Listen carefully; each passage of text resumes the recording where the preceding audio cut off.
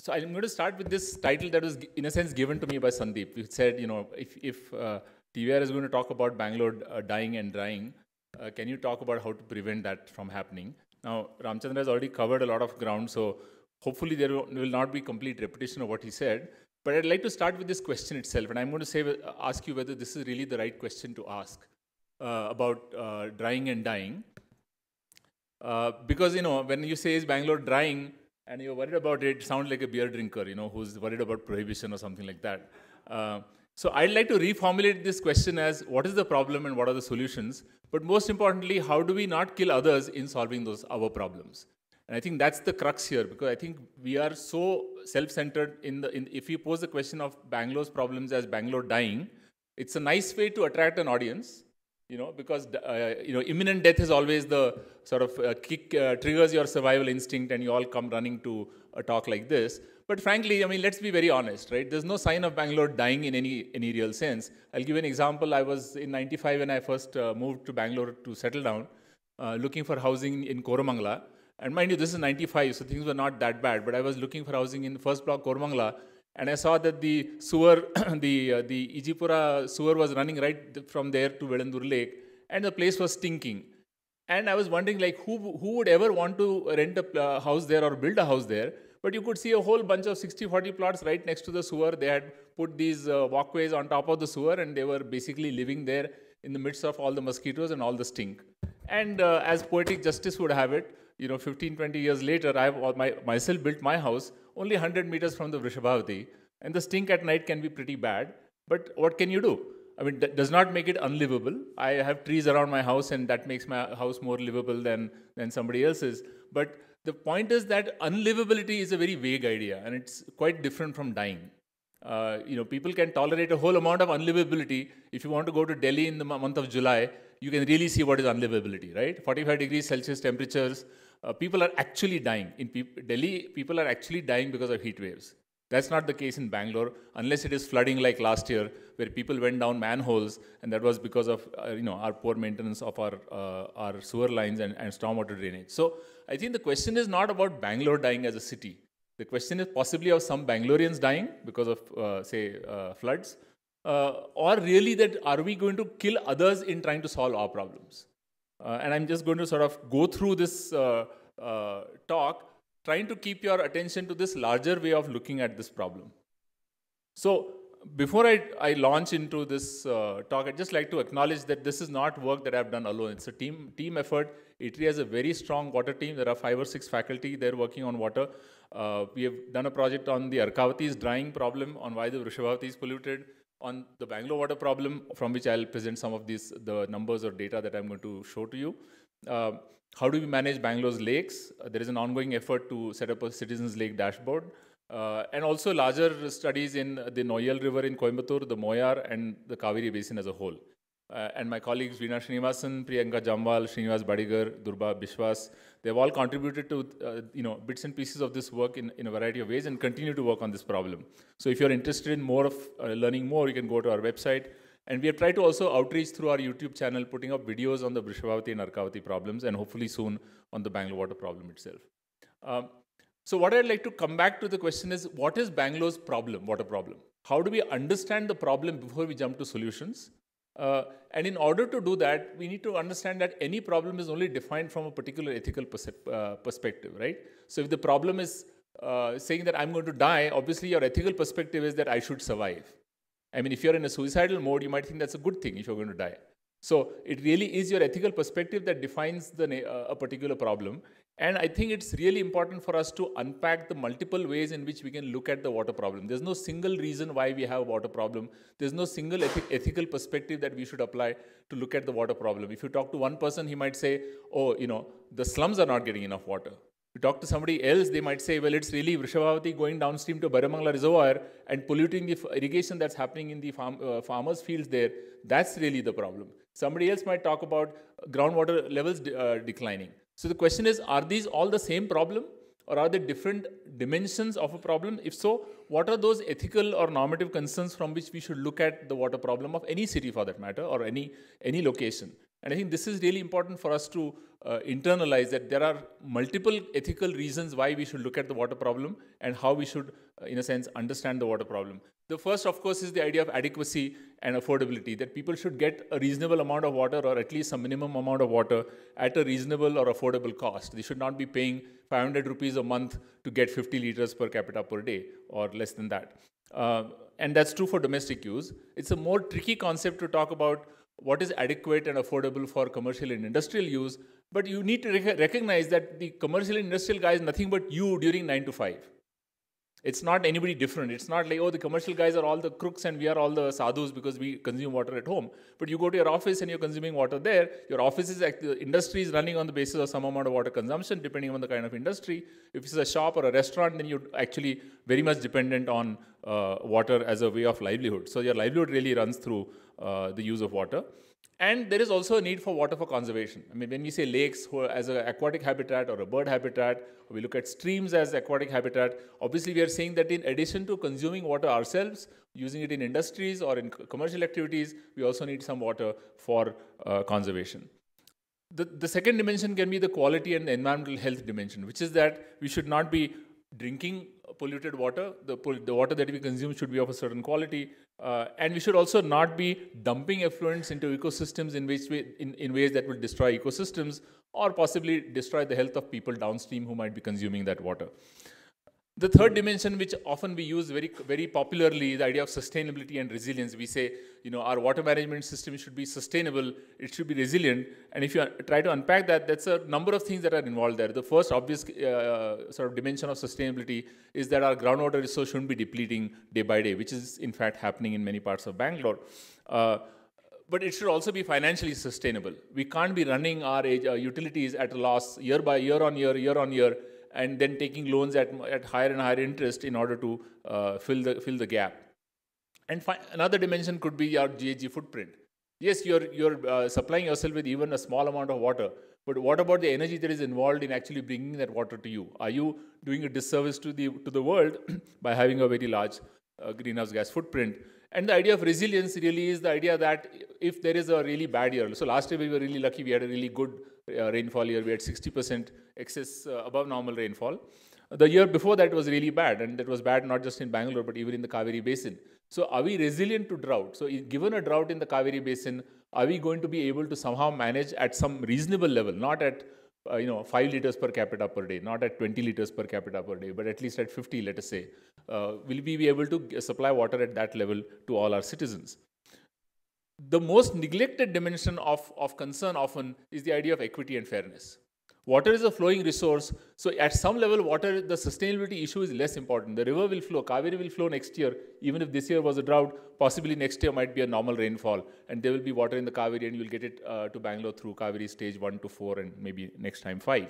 The question is, how are we distributing this water? So equal access to all domestic users, uh, social justice provisions to the poorer sections of, of society. I don't think anybody here is living in a slum uh, and you know getting up at four in the morning to collect that hour that water during that one hour that the uh, the waterman turns on the tap for supplying that particular water line in that particular street. So I think we need to really think about how much rupee as well as labor cost people are incurring in accessing their daily requirement of water. Uh, is there a fairness to source catchments? And that's my uh, my point about killing others. Uh, are we uh, meeting our needs at the cost of somebody else, and that could be somebody in the Netravati catchment because we say that's an excess water catchment, so we want their water here, or the Sharavati or the Hemavati. Uh, and are we being fair to the downstream? And that's equally important to remember that water is again a flowing resource. You are tapping into water at the middle of a river basin, you have some downstream commitments. If you read the Kaveri Water Tribunal's uh, report, it actually says that all their calculations are based on an 80% return flow of water from urban users. So if X amount is allocated to urban users, 80% of that needs to come back to the Kaveri. Are we really doing that or, or not? So that also becomes a question, are we being fair to our downstream users? and finally, I would say that the concern for democratic governance. It's not just that de democratic governance is a means to an end, but as an end in itself, that we need to run our society democratically, not dictatorially, not technocratically, and not bureaucratically, right? So are we really uh, governing our water in this city in a democratic manner. So I would say that these are some of the sort of a roughly five-dimensional perspective on how we should evaluate where we are in the water sector in Bangalore. And the, the question is how does Bangalore measure up against these criteria? And the answer you will get is a mixed one. You're not going to see at the end of this presentation that it's a disaster, that we are dying of uh, lack of water, because nobody here seems to be. You would not be here if you were dying of water. You would be standing in a line waiting for a tanker to show up at your doorstep or you know, running after somebody to get water, right? So we don't have to exaggerate the problem and make it a, into a problem of sheer survival and death in order to re realize that there are still multiple dimensions of the problem that we haven't paid attention to. And if we keep doing that, we are going to be either unfair to future generations, more likely unfair to people in the current generation itself. So let me start with the idea of the domestic sector water consumption. I'm going to just give you a brief glimpse along these five criteria. There's a lot more that we can discuss or present, but we don't have that kind of a time. So I'm just going to give you some glimpses of what we have done in terms of our analysis of these, of these issues. So the question of adequacy and equity in the domestic sector, you can see this histogram, which is basically consumption in liters per capita per day on the, on the x-axis, and you've got how many, uh, what percentage of households are in, at which level of uh, consumption. And remember, the government says that the norm for metropolitan areas like Bangalore is 150 liters per capita per day. This is itself a, a piece of information that many of us don't have. We also don't know where that norm came from. If you really look at the norm, the norm seems to vary from 55 liters for rural settlements to 150 liters for metropolitan settlements, and tier 1, tier 2 cities are somewhere in between. And you start wondering, why should the norm change? I mean, everybody deserves the same amount of water, right? Why should the norm uh, change? So the reason actually given is if you have a sewerage facility, if your house is connected to a sewer, then you need more water to move the sewage down the pipeline. So really the norm is a concoction of engineers who said that although you really can make do with 70 or 80 or 90 liters of water in terms of your consumption, including your bath, your cooking, your uh, uh, clothes washing, everything, but we need the additional 35 or 40 liters of water so that you can move the sewage from your toilet down the pipeline to the sewage treatment plant, or maybe if you live in Bangalore, directly into Belandur Lake, right? So uh, this 135 and 150 liters is a concoction of engineers who have factored in the idea of centralized sewer systems, huge sewers that need so much water to be moved uh, down uh, kilometers together in order to be treated. And they have not, for example, visualized a different uh, sewage treatment uh, scenario where a lot of treatment is happening, let's say locally, through a variety of technologies, uh, traditional as well as modern. So let, keeping that in mind, we just looked at this histogram and said, okay, where's the average, where's the median, and what does it tell us? So it tells us that the mean or the average is 120, which looks pretty decent. But then you look at the median, the median is only 85. What does that tell you? It, it means that there's a whole bunch of people, 50% of the population of Bangalore is consuming below 85 liters per capita per day. Given the error in the estimate, let's say below even 90, where the 90 is the norm for tier 2 cities, uh, and half of our population is below that norm. Which just tells you that, and at the same time, for the average to be at 120, you can see that there's a whole tail up uh, high. Uh, there are 10% above 225 liters per capita per day. And I think all of us might be in, the, in that 10%. Uh, We're consuming more than 225 liters per capita per day. In fact, the average consumption of this group of people is 340 liters. So you can see that the disparity, this picture shows both the adequacy levels and the disparity within that, uh, within the Bangalore population. That there is 10% who are consuming at a very high level, and there's a whole bunch of the population which is really stuck at a fairly low level of consumption, where you would not be calling them as wasting water in any sense of the, you know, any from any reasonable point of view. So I think we need to really understand how disparate the levels of consumption of water are in Bangalore.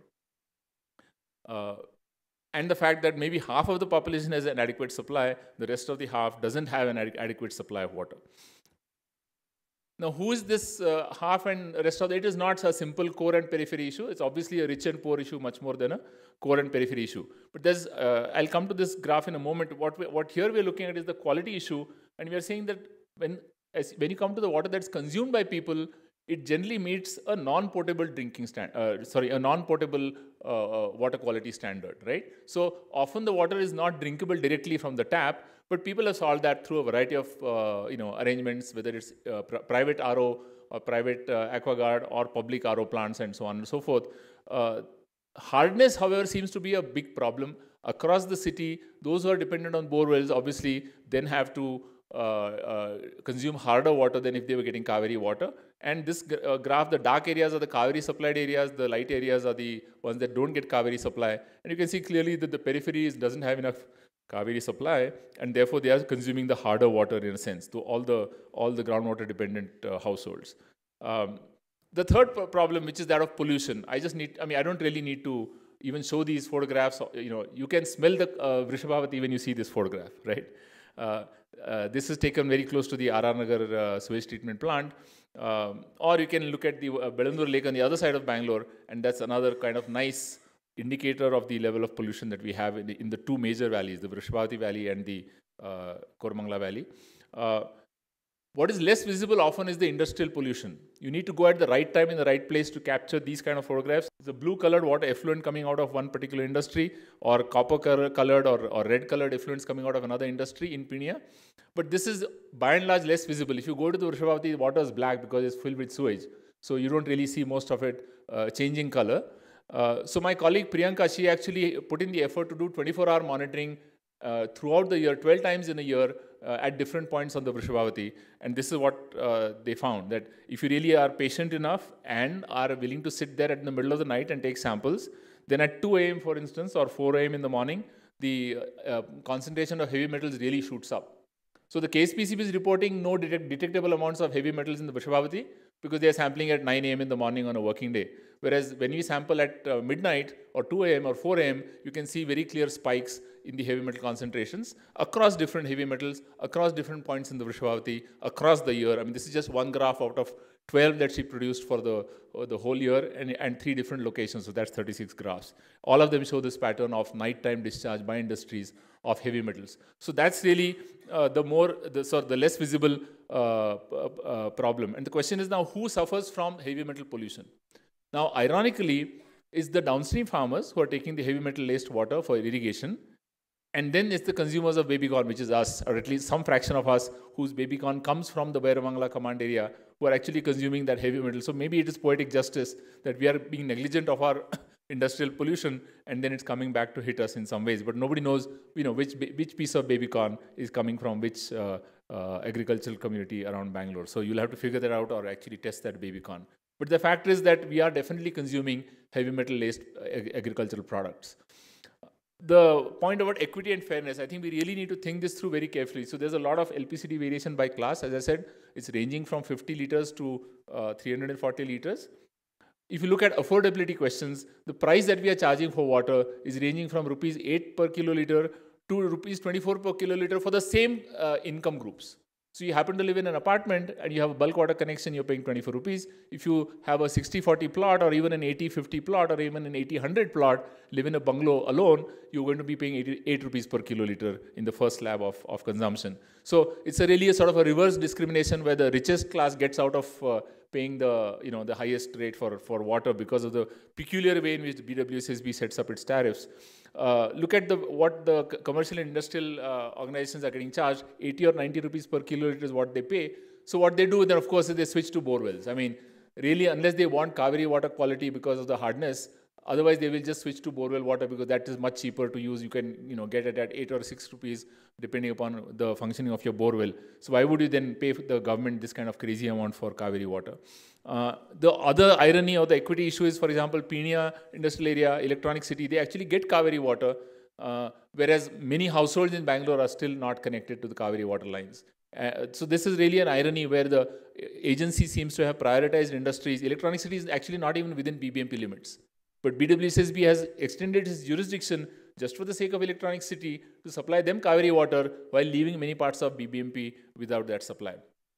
And to supply the rest of the parts of Bangalore, now they are asking for Kaveri fifth stage.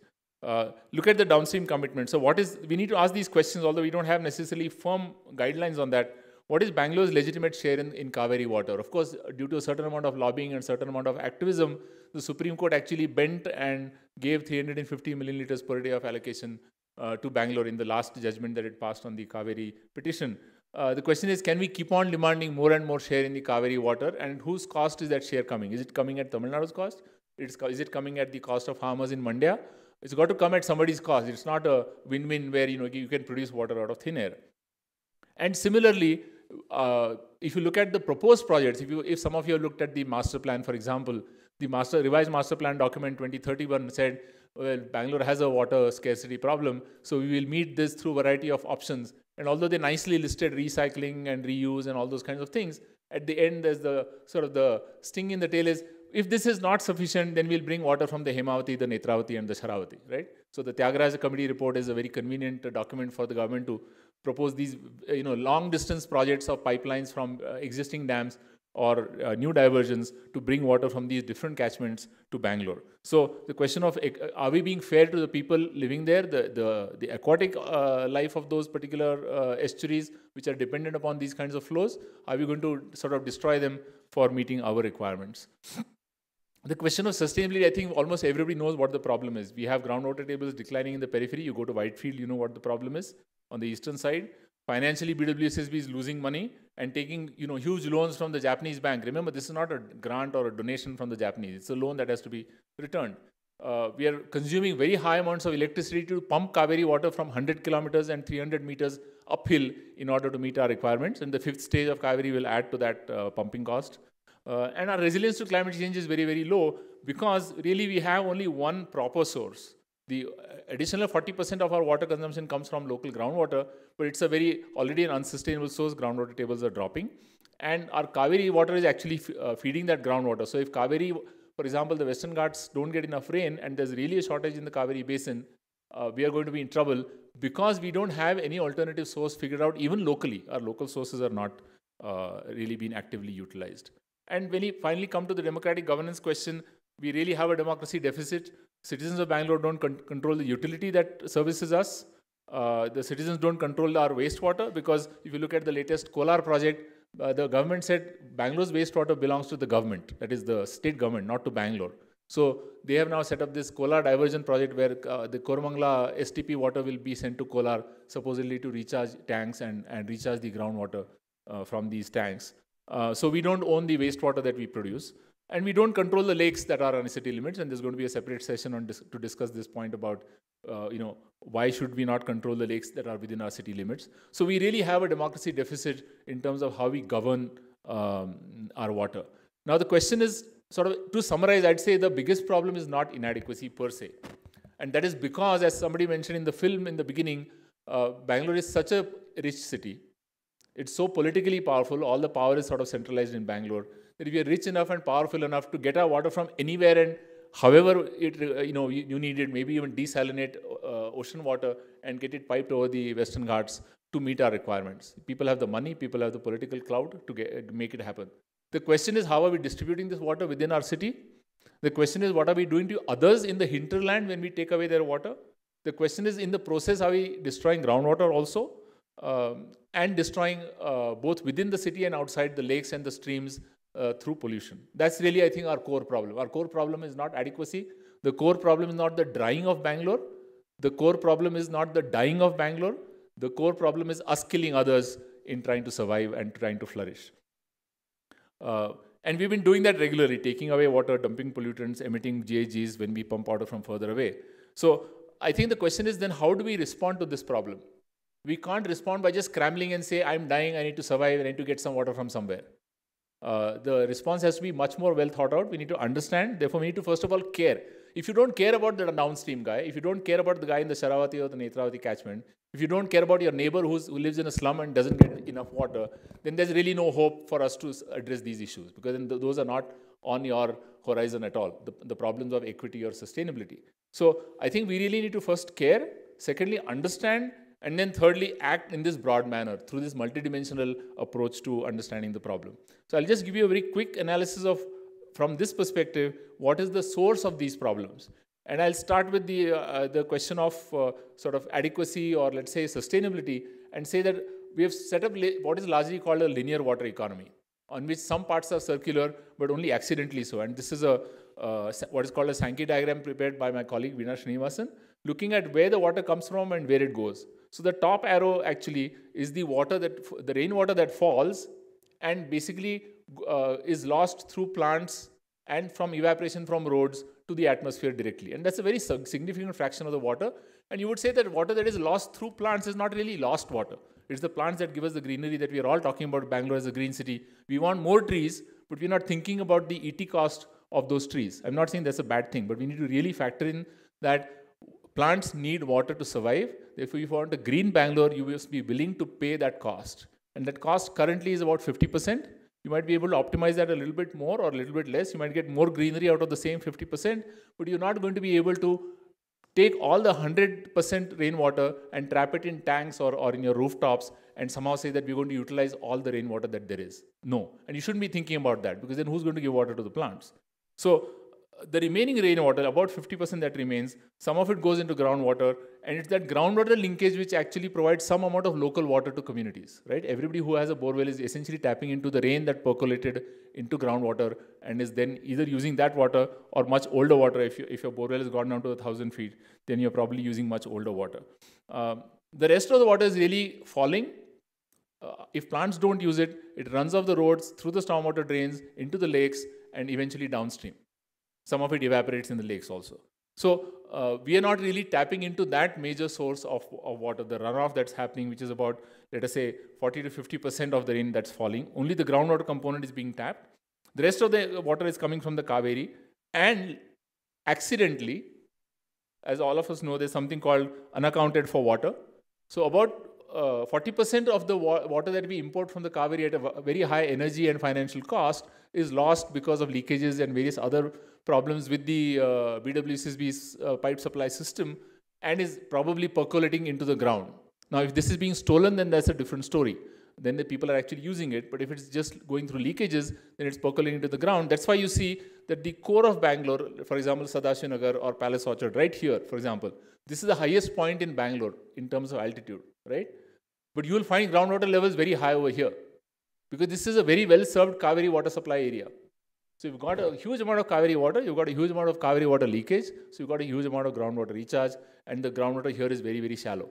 Whereas if you go to the periphery, there's no Kaveri supply, there's no Kaveri leakage, so there's no uh, re recharge happening from that source. So this, this cycling back that you're seeing is an accidental cycling back in that, in that otherwise linear economy where the rainwater goes through without being utilized very much, uh, except for groundwater. And the Kaveri water is also going through except to the extent that it's feeding groundwater and coming out as uh, essentially sewage at the end of the day.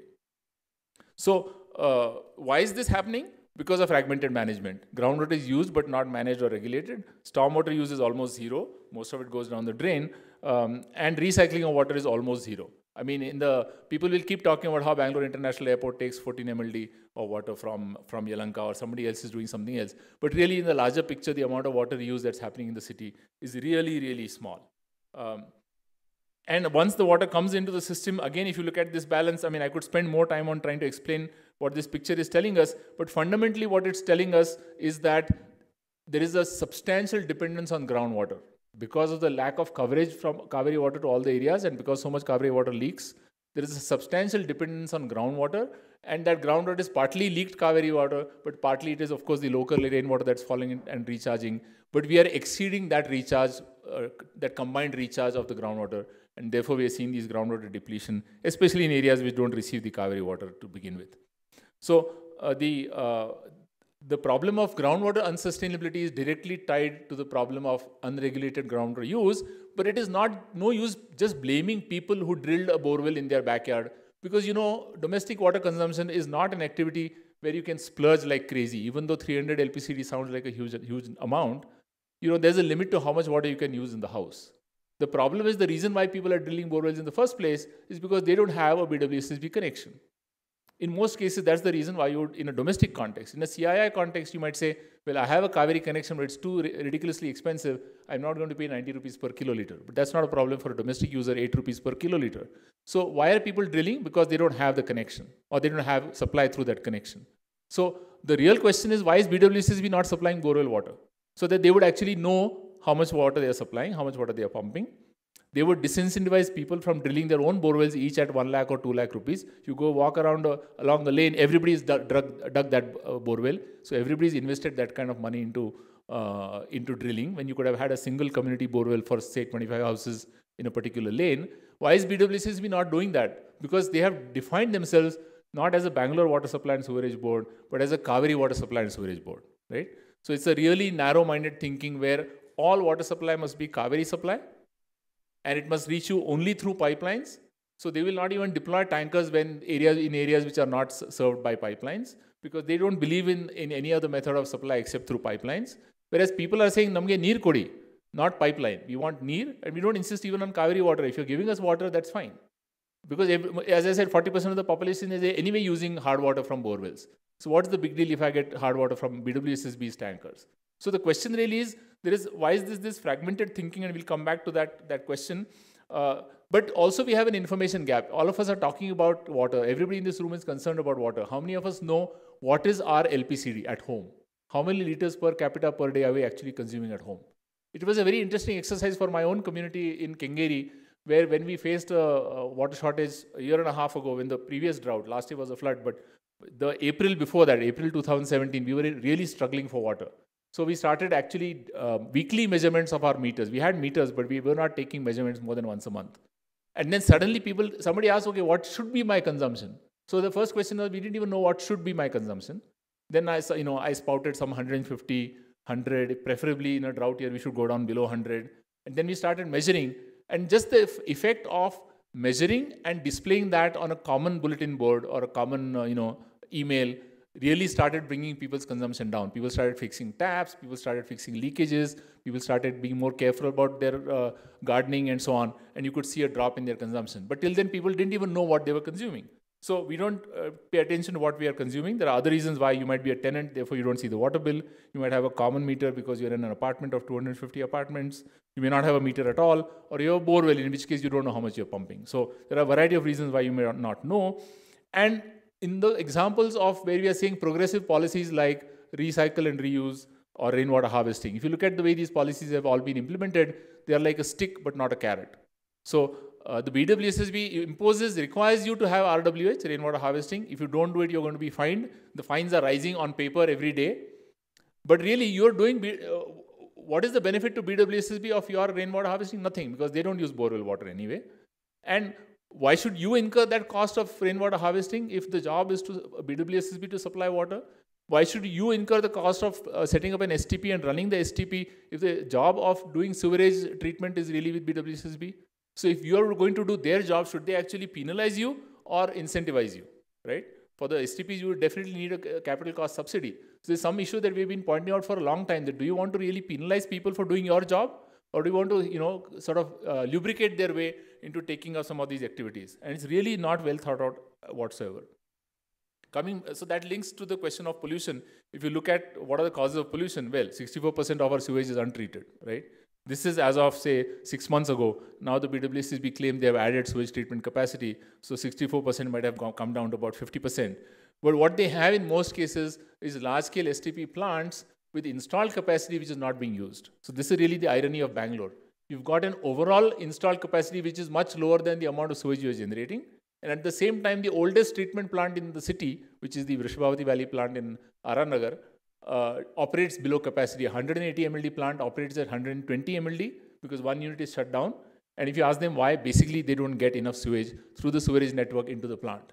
So the amazing story is that we are setting up plants after plants without thinking about where the sewage is going to reach the plant in what fashion. And of course, the performance of these sewage treatment plants, there's a really big question mark. Our study of that particular uh, uh, treatment plant shows that it is consistently in violation of the effluent discharge standards, consistently in violation by order of magnitude. So if the standard is 30, uh, there, sorry, if the standard today is 10, they have been uh, letting out uh, uh, pollution, sorry, effluents which are at 60 milligrams per liter or 80 milligrams per liter of BOD. So it's a really high level violations of these particular standards. And of course, the KSPCB data don't show you that. You have to go and measure it yourself and then, and then draw that conclusion. So uh, if you come to the last point about inequity, why do we have inequity? It's this, this concept of only supplying Kaveri water. So if I don't have Kaveri water to give you, I'm sorry, you'll have to deal with it yourself. It's a bad tariff structure. We don't have any water service benchmark. We don't have any expectation and a reporting from BWSSB saying, are they servicing all the citizens of Bangalore? Nobody seems to be asking, even asking them that question. Uh, and we don't have at the larger level of inequity when we grab somebody else's water or somebody else grabs our water, for example, in the Kolar case. Uh, or in the, KP, the power plant case, it's a very interesting case in uh, uh taking place right now in uh, Annapurna is here from the Jakkur Lakes group. Uh, the, the Jakkur Lake, which has been one of the few lakes in Bangalore, well maintained because it gets treated water from an STP, is threatened because of the fact that BWSSB signed an MOU with the KPCL plant coming up in Yelahanka. It's a thermal power plant. It requires a lot of water for cooling. Uh, and BWSSB said the treated water from the plant uh, STP is our, our water. So we are now going to, you know, we were letting it into the lake for the last 10 years. Now we're going to sell it to KPCL. So, you know, and KPCL going to buy it from us at a much higher rate. So it's great. It's a win-win for BWSSB. It's a lose-lose only for the lake lovers and the lake itself, right? So who, who takes these decisions of moving water from the, let's say, conservation sector into the industrial sector? Uh, we don't have any system whereby these intersectoral transfers, intercity transfers, interbasin transfers are really regulated and publicly debated and discussed. You'll be amazed that the fifth stage of Kaveri went through without an environmental impact assessment, without an assessment of whether there are cheaper alternatives or environmentally more benign alternatives. Similarly, the Kolar project has gone through without an environmental impact assessment, public hearings, or even the DPRs being out in the public domain. So that's the kind of uh, problem we have. Uh, and this brings us to the deeper causes. We can say, oh, this technology was not adopted, rainwater harvesting is not being done, recycling is not happening, uh, people are being wasteful. We can make these superficial comments, but you need to dig deeper to ask questions, why is this really happening? And there's a, uh, the deeper causes are related to how we govern water in our, in our city. Our BWSSB, for example, if you look at the structure of the governing board of BWSSB, you don't, do not have citizens represented on the board. This is a utility meant only for Bangalore, only for Bangalore citizens, but it does not report to Bangalore citizens. It does not have BBMP representation on the governing board. It only reports to the government of Karnataka through a bunch of bureaucrats. They are all playing musical chairs because you've got like 10 out of 17 or uh, 9 out of uh, 15 members of the governing board are IAS officers representing different departments. Uh, there is no expert uh, member on the BWSSB board, no uh, citizen representation whatsoever. Uh, you look at how the chairman of the BWSSB is appointed or chairperson, over the last five years, they probably had six or seven chairs, uh, you know, going through uh, as chairperson. So how are you going to have a well-governed board or a well-governed utility? Look at KSPCB is the same story all over again. The structure of the governing board, it's filled with bureaucrats. BWSSB sits on KSPCB's board. So if KSPCB wants to file a, you know, a case against BWSSB for a malfunctioning STP, it can't do that because the governing board is, uh, the member is, is a member of the governing board, right? So how do you file a case against your own governing body member? Uh, the appointment of the chair of, chairman of KSPCB, the appointment of their CEOs, really opaque processes, really poorly set up processes. The CEOs come and go because they are IFS officers on deputation. So they have really no interest in, in building up the pollution control board's capabilities. Look at BBMP, what it's doing in terms of what committees or how it has let go of control of lakes. All the lakes are uh, within the BBMP's jurisdiction, under the 74th amendment, they should have been under the control of BBMP. But BBMP has never really looked at it as a serious matter of, of jurisdiction here. And there's a much larger question of Bangalore's political economy, right? We have so much power in this city and so much power centralized with the Vidhan Sabha, Vidhan Sabha or with the uh, state government that really there is a nexus between Bangalore's growth and the centralization of political power. That's why everybody wants to come to Bangalore. Nobody wants to go anywhere else the, the lopsidedness in development exists in all the states of India, but I think Karnataka is really extreme in that sense. You go to Tamil Nadu, it's not so extreme. You go to Maharashtra, there are multiple locations of uh, economic power. Uh, you go to Gujarat, there are, you know, industrialization is spread across the state. Karnataka seems to be really extreme and lopsided in, in, the, in the difference between Bangalore and the rest of the state. So we really need to be very careful and introspective that by living in an extremely powerful city, we need to be really careful that we are not going to be trashing the hinterland. That's really going to be the problem. The hinterland is really weak. In spite of all the shouting and screaming, the Yettinahole project is still going to go through. And tomorrow, if they decide to bring water from the Sharavati, that will also go through. Because the rural communities that are living in these catchments have very little voice in the decisions that are taken about the uh, transfer of water. So I'd like to end with a slide on solutions and I think the solutions are at multiple levels. We cannot only blame the babus. I don't like to use the word because the babus are nothing but your neighbor or maybe tomorrow your son will go as an IAS officer somewhere. So be careful before you try to trash the bureaucracy or the politicians for that matter because the problem is at every level including us. So why don't we start at our individual level, monitor our own consumption, try to get into grey water, black water separation within your house, reuse the treated water or the grey water directly in your gardening for example. Even a 25% reuse can be really useful. Uh, and of course, do rainwater harvesting. These are some very sort of brain, you know, no-brainer ideas for the individual. The challenge comes at the above level above the individual. You cannot change the system only by changing yourself because the problems are both structural, not just individual. So we need to look at work at the community level to track your sewage, to get BBMP parks to use treated water. For example, it's a real irony that in an area where groundwater is depleting, all the parks are using borewell water when there are apartments next to them which are treating this water, but they refuse to use the treated water.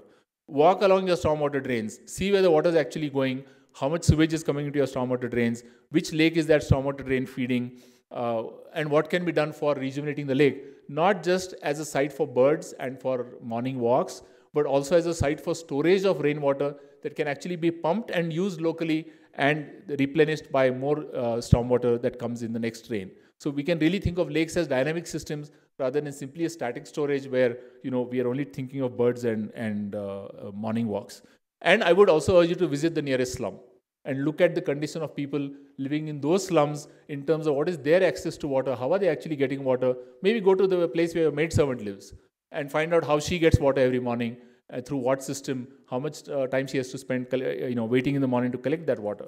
And finally, we need to work at the city level or even above at the state level to get our governance problems fixed.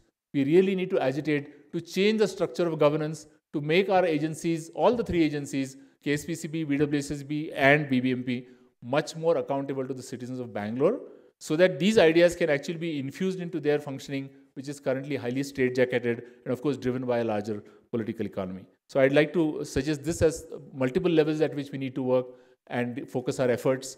We don't have to play blame games because that's not going to get us anywhere. Really need to focus on the wrong actions, not wrong people, and try to fix the problems rather than only you know feel good by uh, sort of saying that well we are in a uh, you know we are doing a little bit of recycling, a little bit of reuse. That's the beginning, but we need to work at all three levels. Thank you.